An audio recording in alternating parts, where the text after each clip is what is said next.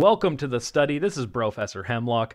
Today I am going to go over the Arcane Mage single target rotation. This is the updated version. So I have done way too much testing on this. I have tested in Mythic Plus, I've tested in Raid, I have countless hours spent hitting this dang target dummy. Uh, uh, it's basically my best friend at this point. Uh, so I want to kind of break down an updated version. So in my last video, uh, this was way back when the uh, expansion was very early. I believe the traditional meta was to drop rune, just spam your blast, get your mana down to around, you know, 15 to 30%, then dump your charges. You have a bunch of clearcast procs built up. You go into a touch of the Magi, presence of mind, and AP go. Now, I, I do, after a lot of testing, again, as I've said, not think that is the way anymore.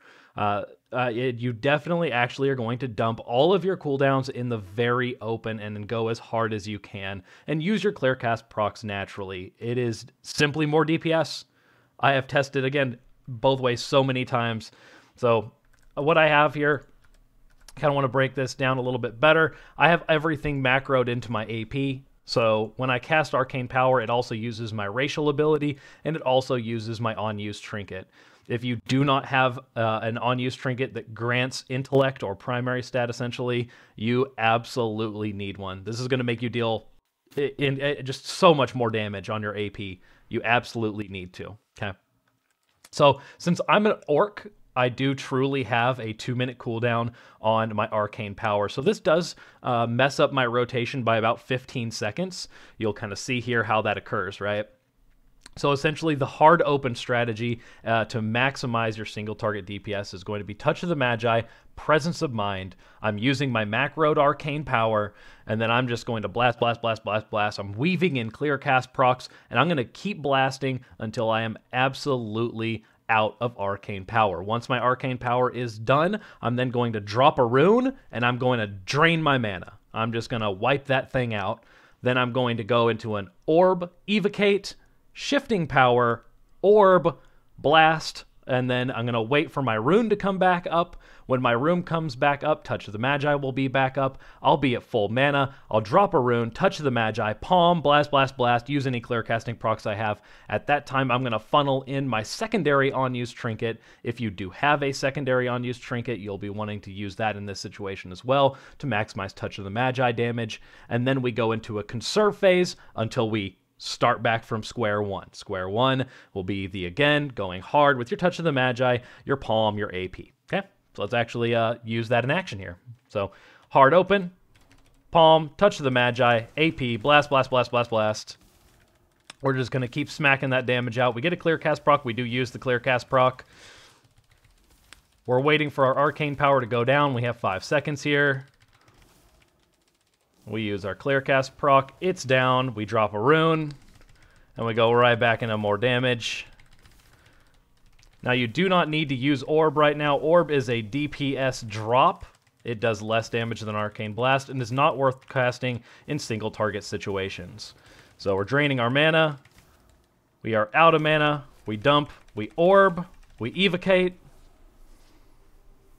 We get all of our mana back. We Shifting Power. We orb again.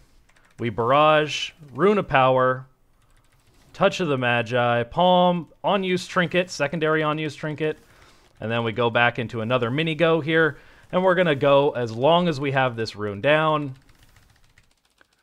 Okay, our rune is down. Now we're going into our conserve phase. And now it's essentially just a traditional conserve. You get up to four charges, you hit one, you dump, and then you go back. Now, at this point, you can kind of see right here, we have 40 seconds left. We have 40 seconds left. Absolutely perfect timing, right? So we're going to be able to have presence of mind up. We're going to be able to have our racial back up. We'll have our full arcane power go because we are, if you are an orc, you have to hold your arcane power for your racial. That will, it, it's such a huge DPS. I, I know you're missing out on 15 seconds of cooldown, but it's worth it. It's worth it every time. If you're not an orc, once you get uh, your palm back up, then you just go anyways, right? So this kind of timing works out perfectly. And then you just go repeat the exact same cycle you did. Note how my secondary on use trinket will be back. I'll have Evocate back up.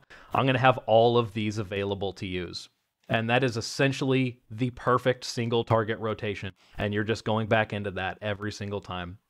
Now, there are situations where you may want to extend uh, your burn phase as long as you possibly can.